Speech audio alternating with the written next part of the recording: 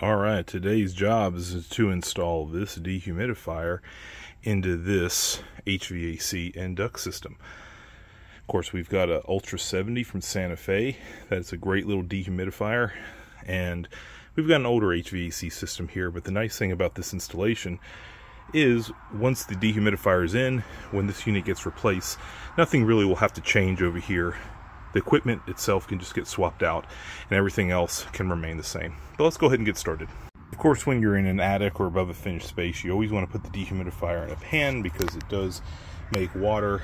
And the other thing that I like to do is use a pan that doesn't have a drain connection on it. That way we can have a pan switch. So if this pan fills up, it's just not going to keep draining out and the homeowner will never know about it. It's going to shut the dehumidifier off and we're going to see that in spiked humidity and we'll be able to come out and service it. The other thing that I've done is I went ahead and had sheet metal shop make up these custom size pans. These will fit not only the Ultra 70 but the Ultra 98. So those are the most commonly sold ones here in my market and so either way I'm covered with the same pan. All right, so the return is really close to the dehumidifier. And all we did is we extended the collar that the flex duct connected to our return filter box. We just put that collar in there to extend it. That way we could put a side tap and we'll flex that right in to the dehumidifier. Nice low static pressure area that we're going to pull from. It's not going to fight that dehumidifier at all. All right, so return is hooked up. It's strapped in place. It's connected to our return box there. The air will come up, it'll go through the filter, and then we'll be able to pull some of that air from that nice low pressure collar, uh, which would be a lot better than trying to pull it from the air handler, which would be a lot more static pressure. It would put more strain on the dehumidifier that way. So duct sealing is really, really important to me, as many of you know. So even though I've taped these joints and I'll continue to tape them around here, I'm also going to go over them with mastic just because I want everything that I do to be airtight. Yes, it is a belt and suspenders kind of approach, but I am literally a belt and suspenders kind of guy. I'm wearing suspenders right now and they are clipped to my belt because I'm tired of my pants falling down. Anyway, back to the dehumidifier. Okay, before we insulate this, I do want to talk about this fitting here. This is a 45 degree fitting, and yes, I am reducing it down to a 6 inch before it goes into this 45 boot. The reason why I'm doing that, first of all, Santa Fe recommends that we now inject the dehumidify supply air into our supply duct at a 45 degree angle so that it can merge in with the other airstream coming from our air handler. But I also reduced it because I want to increase my velocity pressure so that I really get that airflow in there. And, and as you can tell, our supply duct is actually really, really short. So I'm trying this out. Of course, we're going to hook up manometers to it. We're going to take airflow readings, and we'll see how it works at the end of the uh, job. The other thing that I do want to talk about is this damper. This is a motorized damper, and I've reversed the action, meaning that I've now made it where when it says open, it's actually closed, and it has to power to open. So open will take 24 volts. The needle will go here. Instead of being closed, it'll actually be open. Reason why we're using a power damper instead of a backdraft damper, is that those dampers are spring loaded. And what ends up happening is the backdraft damper wasn't open all the way and so it becomes an, a restriction. It is really limited by the velocity pressure coming out of our dehumidifier.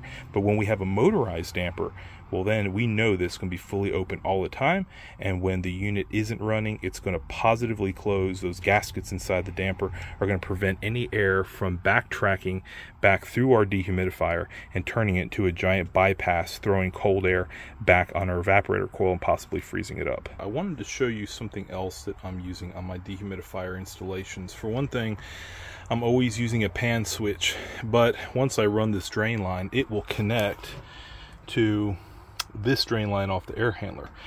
Uh, yeah, and I wouldn't do all that, but I'm not here to fix all that. But because it shares a drain line with the air handler, if that drain line backs up past where we tee into it, then water could drip into this pan, fill this pan up.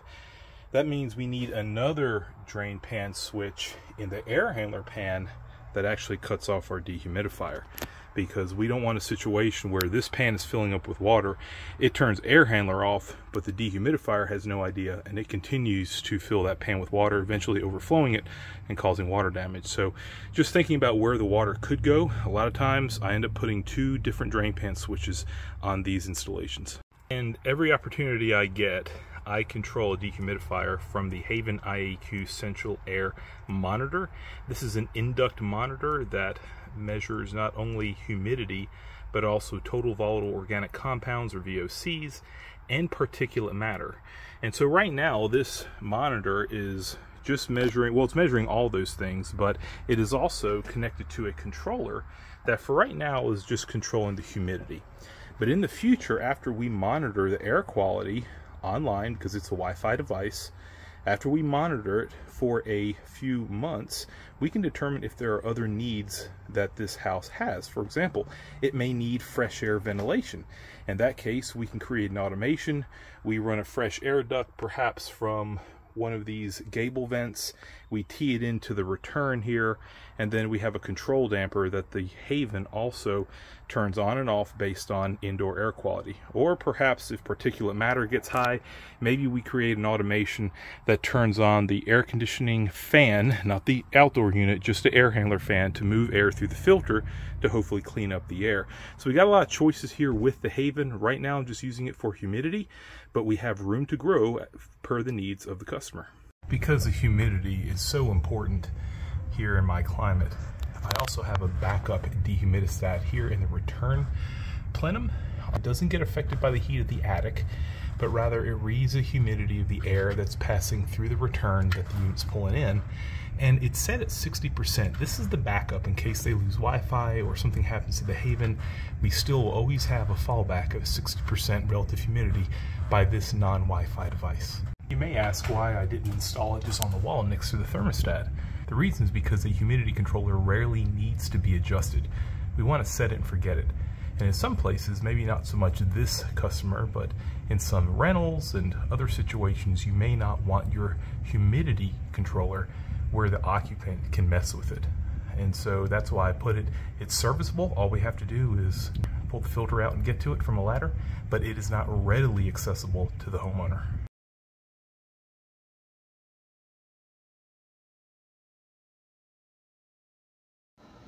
Well, we're almost wrapped up with this project, I've got my smart probes on there. I just got to tidy up a few things, make sure my Haven is working. I've got to insulate my drain line, but let's go ahead and test the operation. Well, it looks like I had my supply and return probes backwards, but the number is correct. This is with the air handler off.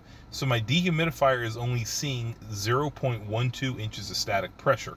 That's really, really good. That's really, really low. And it's going to allow the dehumidifier, when the air handler is off, to be able to move very close to its rated airflow.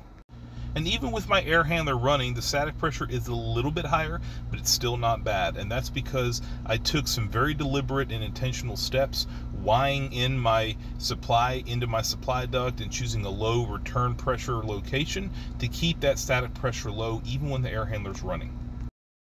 According to Santa Fe's technical information, I'm running somewhere between 130 and 140 CFMs at that static pressure. So that's really good. The next thing we're going to do is check our entering and leaving air temperature and humidity.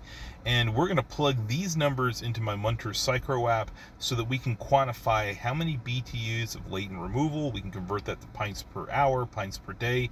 Just verify that this dehumidifier is performing correctly. As we can see, it's removing about 1.77 pints per hour. If we multiply that by 24, that's 42.48 pints per day. You might be asking, why is it so low? It should be 70 pints per day, right? Well, dehumidifier manufacturers are required to rate their capacities at a certain, very specific set of incoming air conditions that do not mimic real life conditions.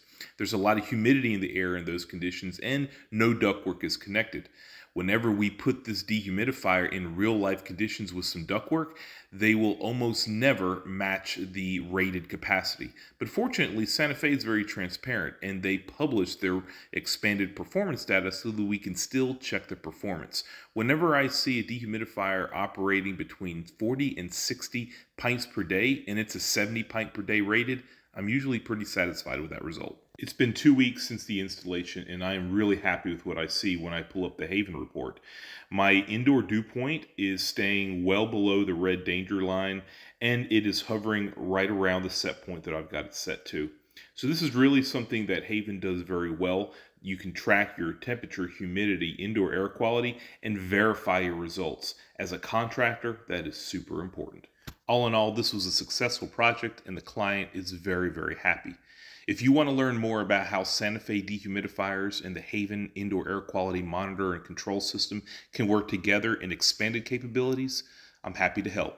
Please feel free to reach out. And for now, thanks for watching.